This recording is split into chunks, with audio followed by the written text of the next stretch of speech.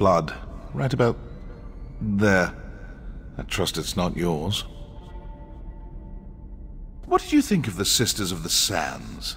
I don't think anyone can appreciate the feel of cold stone until they've baked in the Alik'r sun. I left three brothers tied up and baking in the sun once. Good times. Your gold.